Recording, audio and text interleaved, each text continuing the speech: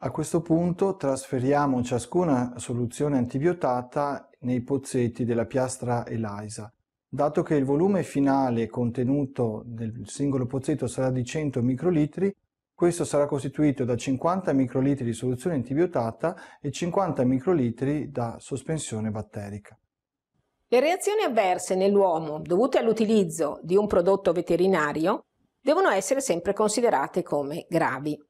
Quindi bisogna sempre segnalare quando le reazioni avverse possono essere causate da un contatto cutaneo, da inalazione, da iniezione accidentale o anche da ingestione accidentale. Questo perché? Perché le eventuali segnalazioni e la gravità del caso porteranno a un'indicazione nel foglietto illustrativo dell'utilizzo eventualmente di guanti, di maschere o di porre particolare attenzione nel maneggiare il prodotto.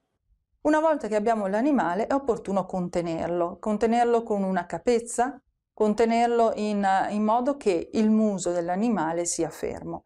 Questo perché? Perché noi utilizziamo dei tamponi che devono toccare il meno possibile la parete del, del naso per arrivare più profondamente a livello della coana nasale.